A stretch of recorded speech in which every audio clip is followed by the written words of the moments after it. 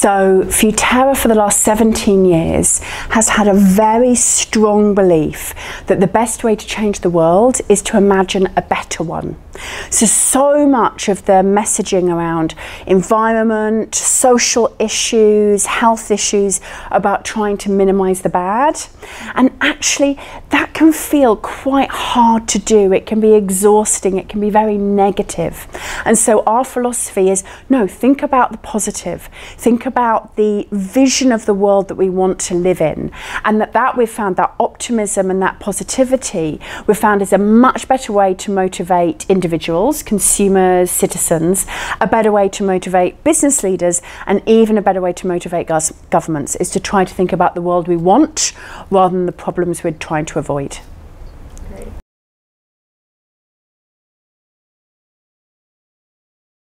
So, over many years of working with large businesses and with NGOs and with governments to try to bring about positive change, we've learnt a few things.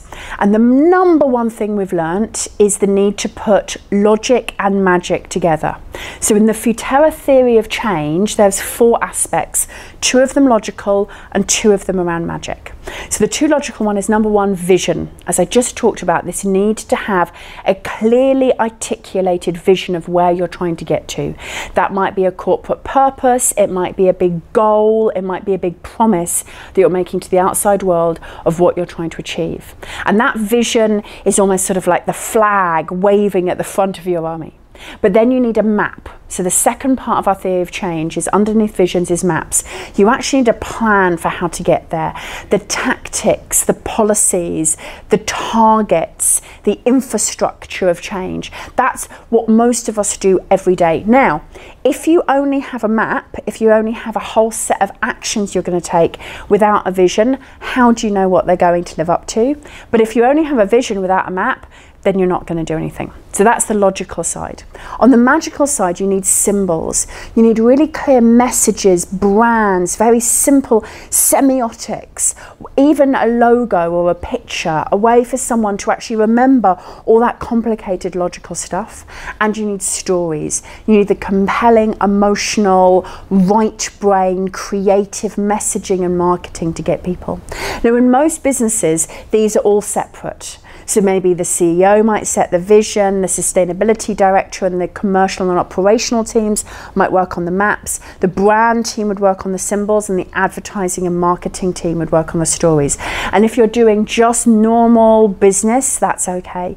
When it comes to sustainability, you have to do all of this at once. And so inside Futerra, we have great experts on the sustainability issues, on strategies, on target settings, even on the science. And we have graphic designers and storytellers and marketeers on the creative, and they're all having to learn how to work together because when it comes to positive change, you need the magic and the logic. So, fast moving consumer goods companies looking to play their part need to remember the first part the fast moving. Now, actually, many consumer goods companies are quite slow moving. They are slow to change, they are slow to respond. It's incredibly risky to do something different this year than you did last year. And actually, that is no longer the case when it comes to social issues, environmental issues, health issues, and safety issues. We need to be really responsive. So, the number one message we've come here to the Consumer Goods Forum with is to start thinking about products as if they were people. How can your product embody the honesty that a person would have in their interactions with each other? So to stop this top down product and then people here and start realizing that actually your product is a peer of your consumers. How does an individual, how does a person embody honesty? They're clear about their intentions, they admit where there's mistakes, they take risks, and they're vulnerable. These are not terms that we're used to using around our products, but the small startup challenger brands, the ones that are seeing such incredible growth right now, these are the companies that have understand this very modern way of engaging with consumers. And for most large brands, it's death by a thousand cuts right now from those small guys. So don't just look at the kooky marketing, don't just look at the fun messaging. Actually, look at these very human values that these small brands embody.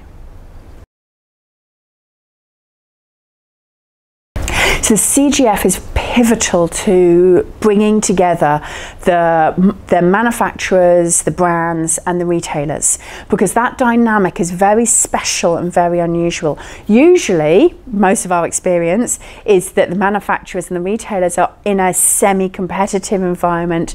It's very financial, it's very commercial. But actually, what the CGF does is it gives us space to say, guys, we're the people who touch the consumer, we are the people who she interacts with every day. And actually, she sees this as one thing. She doesn't see retailers and brands as different. This for her is shopping.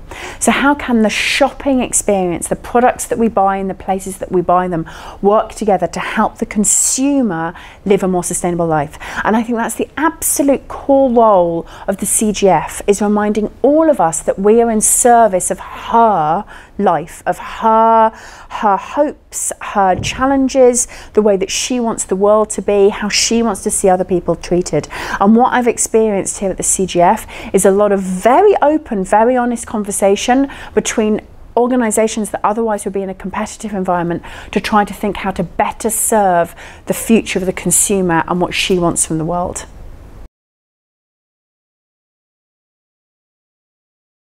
One of the most favourite results from our work on the uh, the Honest Product Guide was looking at uh, whether we as industry, so members of the CGF and also members of the Chartered Institute of Marketing, think that consumers are satisfied with transparency, and over 80% of the members of the of the CGF and the Chartered Institute of Marketing think consumers are generally satisfied. We then went and asked consumers Turns out not quite the case. Actually, well over 50% of them are not satisfied with the information that they're getting on social, environmental, um, health and safety issues. This is one of the big learnings. And then we've done a really big deep dive into what consumers think, into what the industry thinks, and some breakthrough ideas around how we could change this. So two of the things that I would really encourage people to look at is the honest product test, the seven ways in which the new breakthrough brands are being honest with consumers and the honest product journey. So, the different stages that companies are going through towards honesty and the really big gap that there is between current practice and the future. Transparency and collaboration go together very, very closely. In fact, it's very difficult to be transparent without collaboration, from collaboration with your suppliers to collaboration with consumers, with other brands, in order to create ways to be transparent together. So these aspects come together absolutely. I also think that transparency and collaboration are two of the bedrocks of future business. And again, we're seeing this significantly in the entrepreneurial sector. So everything that the CGF can do to encourage greater transparency transparency, or in our language, greater honesty and more collaboration, perhaps more friendliness. so, transparency and collaboration, or honesty and friendliness, is only going to be a good thing for every company involved in the CGF.